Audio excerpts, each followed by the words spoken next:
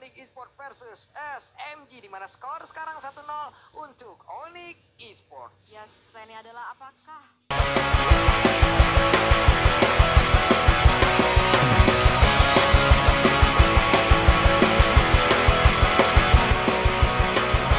S5G dan teman-teman SMG dan juga Onyx Esports berusaha untuk rotate ke area situ ada banyak eh, highlight ya ke area sini.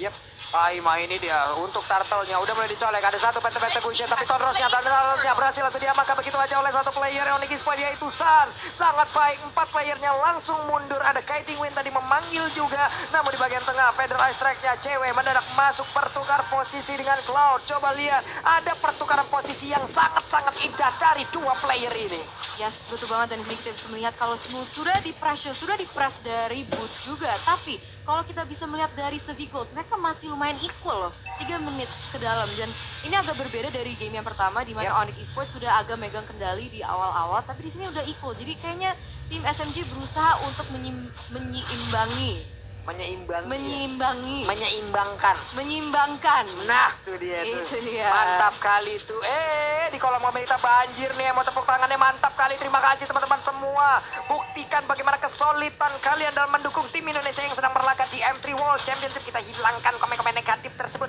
Kita anggap saja mereka debu yang berterbangan tidak tahu arah. Yes, dan item deal kita boots langsung ke Molten Essence first item setelah mendapatkan tough boots dan ya, itu dia. Itu dia. Cuman sekarang juga ada serangan dilakukan oleh Drian. Dia mengambil satu wave minion ya Om ya. Diberikan begitu aja loh untuk Drian. Ini kan Driannya ya. iya lebih jalan wave minion dikasih semua ini. Pinter banget juga dari Onyx membuat untuk Driannya kaya langsung di awal-awal. Levelnya juga menang.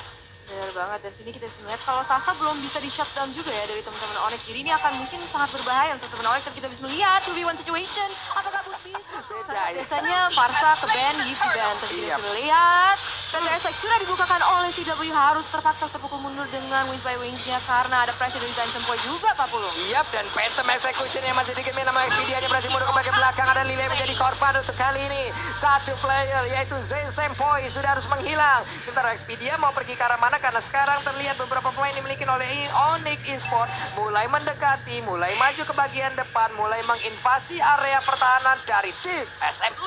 Satu teker nol di sisi Wow. Jedak jeduk ya. Ih, jedak. Wow, jedak jaduk. Kenapa? Oke, ini untuk temponya kembali melambat, kembali mereka hanya saling farming, belum ada invasi yang benar-benar untuk melakukan tim fight besar. Karena dari tadi ya setelah mendapatkan objektif ya udah pergi, dapat satu ya udah pergi. Seperti itu aja yang mereka lakukan di atas sana antara Esmeralda dan juga dari Beler yang masih santai namun di bagian tengah sana untuk kali ini ada serangan dilakukan juga oleh tim SMG menimpulkan satu orang yang menjadi korban yaitu cewek yang langsung menghilang dengan sangat-sangat cepat. Yes, mereka setup yang begitu bagus dari teman-teman SMG bisa menumbangkan satu orang dari Onyx tapi kita bisa melihat T-Boy harus berhati-hati dia yang akan menjadi korban selanjutnya. Yap, Rian ya masuk dengan Blazing 2 tapi coba lihat itu DP dan sakit banget. Double killnya berarti langsung diamankan oleh Long. Mereka akan pergi ke arah mana? Sansnya ada Tonros yang masih bisa menyelamatkan diri untuk saat ini. Masih bisa ke kabur. Ada satu cyclone. Eh, dia bener aja. Bisa dia selamat. Sansnya. Ya Bisa membuat dia kabur. Wow, Sans dengan darah setetes masih bisa kabur. Tapi walaupun begitu, ternyata SMG masih memiliki space dan ruang dengan untuk mengsecure objektif yang selanjutnya yaitu Turtle dan tim SMG sekarang malah leading di segi gold ya udah 1000,3 gold lead Hmm, oke ini udah mulai memimpin sepertinya ya tim SMG nggak boleh dibiarkan lama-lama oleh Onyx Sport. Mereka harusnya mengejar tapi kita lihat aja ya nantinya Cloud akan kamu jadi momok mematikan untuk seluruh player yang dimiliki oleh tim SMG atau cleannya akan jauh lebih kaya lagi untuk bisa membombardir Onyx Sport yang bawa. Iya, tadi sebenarnya dari Long sendiri ada misclick atau gimana gitu. Iya. Dia belok ke Crips tadi. Iya. Bukan nabrak ke Suns. Tapi ya itu dia. Memang harus presisi banget ya. Nggak boleh auto untuk skillnya sendiri. Tapi ya, dari segi point kill, tim SMG mereka cukup unggul sekarang karena mereka punya Rafael.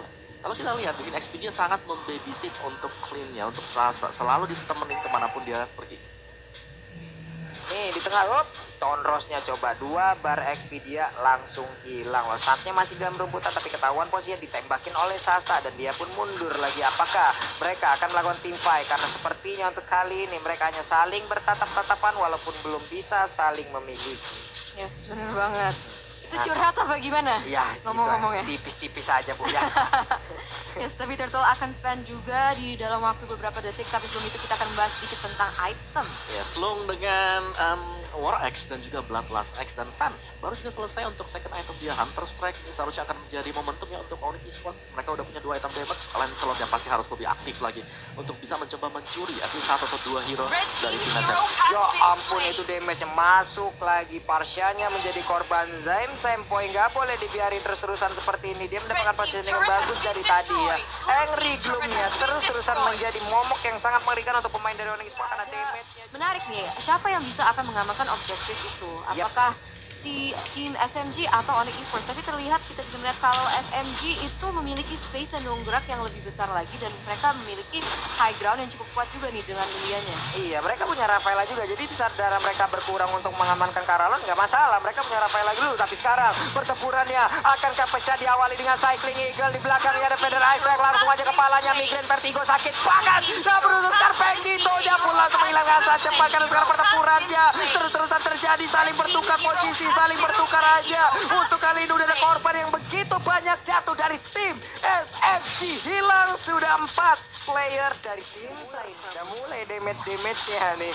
Mulai terlihat bagaimana efeknya bagaimana impactnya Sebenarnya di area mid akankah mereka berhasil untuk mendapatkan satu center turretnya? Karena Federasi kali ini langsung aja mengusir mundur beberapa pemain dari tim SMG udah ada push juga yang mulai maju bagian depan. setelah mereka mengusir mundur mereka mundur lagi. Mereka cari objektif lainnya. Adalah pemilihan yang sangat baik pemilihan yang sangat wise sekali dari tim Onyx Esports di bawah Sansnya dengan Tonros udah dapat satu wave minion. Yes, sudah dapat satu wave minion dan juga initiator turret yang ada di bawah ya, bukan initiator. Yep. Ta- tower yang kedua. Tower yang Tier kedua. 2. Tier 2 Tier 2 dan Inner sekarang kita turretnya. bisa melihat kalau misalnya Expedia juga berusaha untuk melakukan apa yang dia bisa lakukan Federasi sudah dibuka dan langsung di cancel juga itu long dia berusaha untuk ke area belakang 40 Iya benar sekali karena tadi untuk Federasi yang langsung aja di cancel karena oleh Baptism tapi sekarang Rafaelanya dokter kelilingnya langsung berhasil diamankan empat player yang dimiliki oleh tim SMG mereka sepertinya belum menyerah namun lima player dari Onyx Esport lebih mengatur tempo lagi mereka pergi lagi ke lane yang lain mereka habisin objektifnya. Boleh boleh nih Om Hawa Ya, di pop tipis dan kalau bisa dapetin poin kill itu langsung dimaksimalkan oleh Onyx Esports. Dan setelah berhasil mendapatkan untuk objektif berikutnya. Keunggulan gold udah mulai swing karena Onyx Esports 2000 gold, 1900 sekarang untuk Onyx Esports leading. Dan ini semua bermula pastinya dari tim SMG karena berhadapan dengan em, adanya Belerik. Mereka harus berhati-hati ketika melakukan inisiasi. Nah, dia nih. Cuman masalah Belerik di saat dia menambahkan move- movement speed di dalam tubuhnya, itu yang bikin orang ketar-ketir juga ini Om. Masalahnya walaupun ada Angry Bloom dan juga Rafael dengan yang bisa memberikan efek slow ya, dia tetap aja gitu loh. Ternyata Push tidak hirau akan hal tersebut. Dia tetap ingin maju, tetap ingin mengganggu. Karena sekarang purple buff-nya pun akan diganggu oleh Onyx Esports. Hmm, dan benar aja diambil ya langsung diambil dari teman-teman SMG ya agak sadis sih teman-teman dari Onyx Esports nih mereka nggak ngasih wave mereka nggak ngasih minion mereka nggak ngasih objektif mereka juga nggak mau ngasih any source of gold ya Yap. intinya dari untuk teman-teman SMG dan sekarang mereka terkandangi dalam base-nya sendiri. Mereka berusaha untuk mencari opening mencari informasi tapi dari situ Feather Airstrike sudah dibuka. Feather Airstrike dan juga Flame Shot. Tapi Zam Sempoy dan Black Shoes masih bisa kabur Yap, setidaknya ada informasi yang mereka dapatkan Lexus udah langsung digunakan tapi pun terkurung seorang diri di bagian bawah. Kukira kau sendiri ternyata temanmu bersembunyi dan mundur lagi dua-duanya ya. Mundur lagi semuanya, tidak ingin tim fight lagi Om Wawa. Oh iya, masih untuk reset sendiri dari itemnya sendiri brute force ya untuk long jadi gak ada item tambahan Sans kalau kita lihat endless dan akan menuju arah BOD juga ini seharusnya ketika ada Blade of Despair yang mereka oleh Sans eh, dari Onyx mereka sudah mulai bisa bermain karena mereka udah punya burst yang sangat-sangat besar sekali. Yap. Hei, Trian, mengamankan stacknya dulu. Art of the Fairy-nya diamani dulu. Oke. Sementara untuk itemnya sendiri dari Zaim Tempo, wah. Nih, Glowing One atau Genius One? Eh, Glowing One nih kayaknya mau di Genius sih kalau. Genius ya. Cuman ada satu item satu item health-nya itu loh. Oh iya bisa jadi. Bisa jadi karena bisa jadi karena Glowing One dan sekarang Black Shoes-nya kembali digunakan oleh satu player dari tim SMG yaitu Zaim Sempoy. Yes, benar banget dan sekarang kita bisa melihat kalau misalnya kedua tim masih bermain dengan cukup pacing, mereka berusaha untuk nggak mau overcommit into another fight karena kita sekarang bisa melihat kalau misalnya udah masuk ke menit ke 14 jadi mereka nggak mau overcommit nggak mau bikin mistake yang bisa di uh, ambil alih oleh musuhnya dan kalau kita lihat dari Samsung Galaxy A52 S5G Lord lainnya sudah spawn dan teman-teman Ori Esports akan berotasi ke arah situ. Yap, ini dari Cloud sendiri sepertinya udah mengawali ya. Dia udah mencicil duluan terhadap Lord tersebut. Tadi kita lihat aja Lord by Samsung Galaxy S52 5G. Hanya saja sekarang pemain dari tim SMG. Kan seperti ya mereka tidak ingin melepaskan Lord juga. Mereka akan siap untuk melakukan team fight. Mereka mulai maju ke bagian depan. Ada cycling yang dikeluarkan begitu aja karena sekarang pertempurannya. Ada satu Plexus yang belum sempat dikeluarkan. Langsung menghilang aja Lilianya. Tapi saat di depan yang berbeda. Terkurung seorang diri. Kukira Paiwa ternyata Pawa kawan. Hilang sudah untuk kali ini. Sasa langsung aja menjadi korban tapahan hanya menyisakan XP dia dan juga Smooth. Mereka ingin pulang ke bagian base-nya. Tapi coba lihat, pemain dari Onyx mereka sepertinya ingin melakukan one strike push tanpa adanya kesempatan tapahan untuk pemain dari tim Asamji. Ada lagi satu tornado yang begitu menyakitkan. Smoothnya seorang diri. Dia berusaha untuk mempertahankan ke arah satu area defensif yang dia miliki. Ada Sandiara yang berbeda. Sedikit lagi darahnya. Ada beberapa pergerakan yang dilakukan. Mereka berapa lagi ke breaker yang selanjutnya. Mulai sekarang langsung diawali oleh